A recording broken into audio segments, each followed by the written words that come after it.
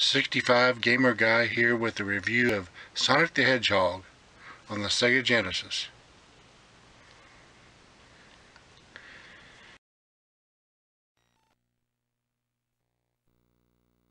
Sega! When the Genesis first came out, I didn't own one, but a friend of mine did. And I remember seeing this game on, on his Genesis, and I thought it was pretty amazing.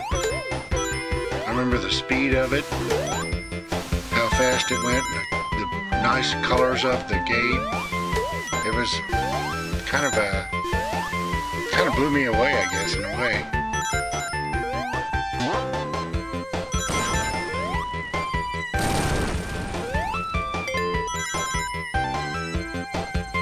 Now, I didn't own a Genesis back then, so my gameplay is not very good at this game. But I really like the game. It's a fun game, it's fast, it's very colorful. There's a lot going on.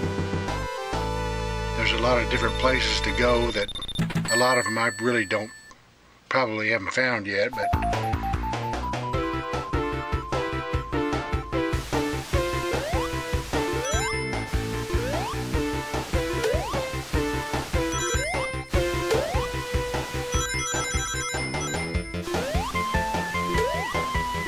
have to say this is one of my favorite favorite games. Like I said, I'm not very good at it,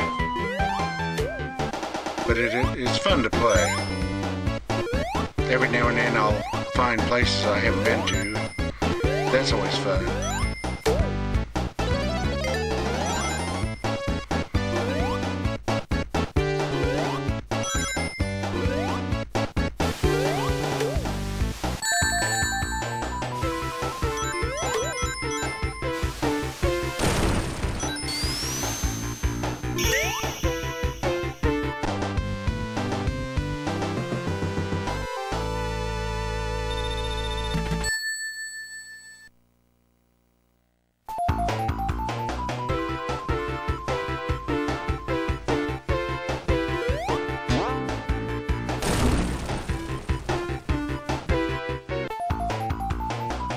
the music in this game is really good too. I mean, this was the era when video games started to have more, I guess, features, you'd say, where they had music.